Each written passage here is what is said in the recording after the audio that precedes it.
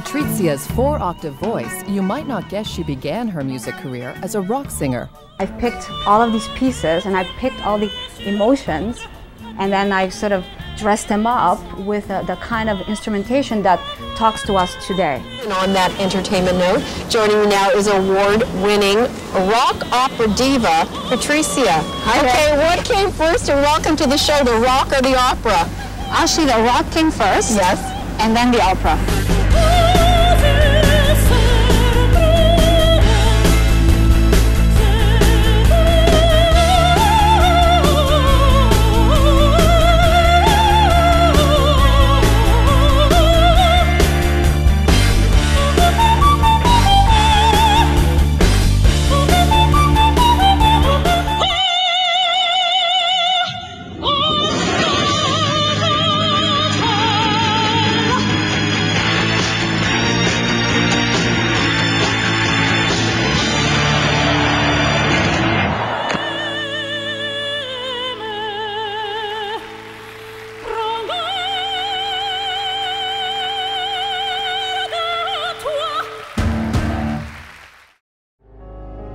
Come from very humble origin from uh, Abruzzo, Italy.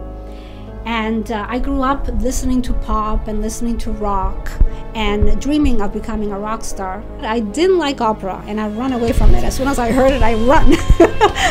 but when I heard Maria Callas, that changed everything for me. It, it spoke to me so much that I, I ended up studying opera.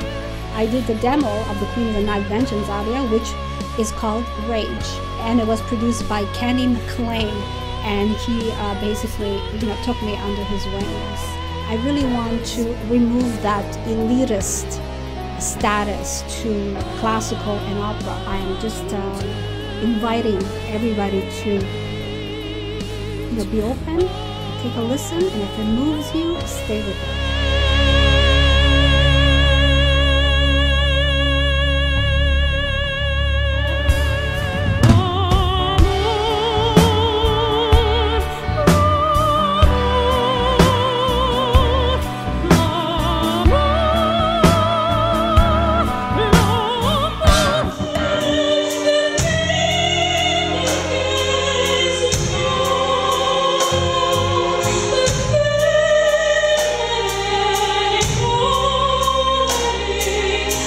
see.